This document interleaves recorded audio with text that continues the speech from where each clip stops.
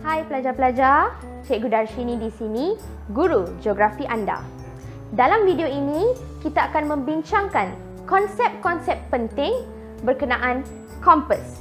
Cikgu pasti, mungkin ramai pelajar di luar sana yang masih kurang jelas tentang konsep ini. Jadi, pastikan pelajar-pelajar menonton video ini sehingga ke penghujungnya. Baiklah,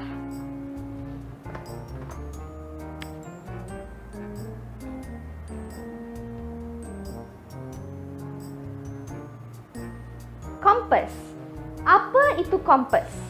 Kompas merupakan alat yang dicipta manusia bagi menentukan arah dengan tepat. Dan kompas ini diperbuat daripada logam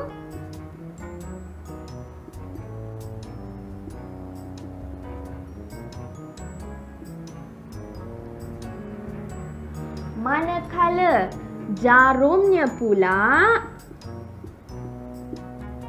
diperbuat daripada magnet.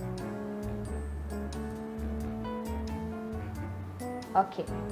Dan hujung jarum ini iaitu hujung jarum kompas akan sentiasa menunjuk ke arah utara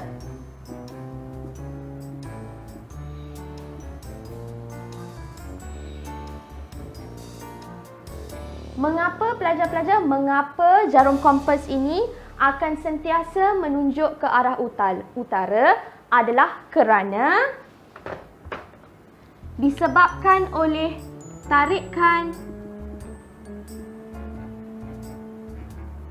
magnetik. Baiklah. Jadi, fahamkan konsep asas ini terlebih dahulu. Dan seterusnya, bila pelajar-pelajar ataupun kompas ini digunakan oleh pelajar-pelajar bagi menentukan arah, perkara penting adalah kompas tersebut mesti dielakkan.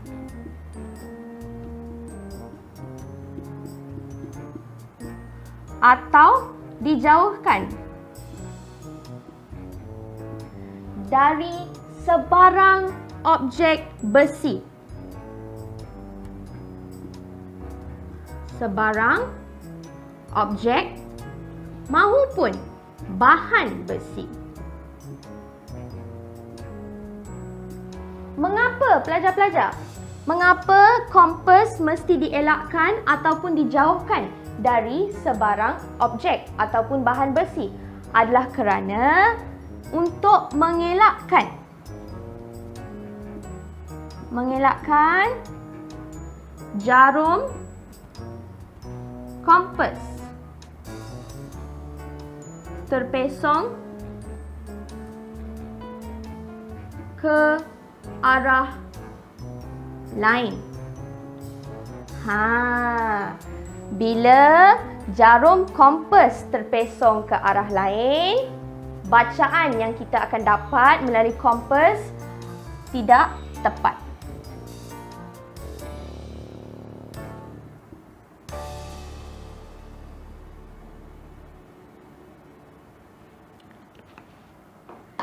Jadi, pelajar-pelajar, bagi mengelakkan bacaan yang tidak tepat, kompas mesti dielakkan ataupun dijauhkan dari sebarang objek besi bagi mengelakkan jarum kompas terpesong ke arah lain dan memberikan bacaan yang tidak tepat.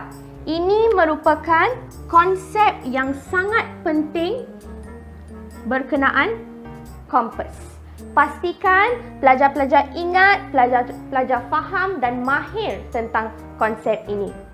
Baiklah, cikgu berharap video ini berguna untuk pelajar-pelajar semua. Sekian saja daripada cikgu. Terima kasih.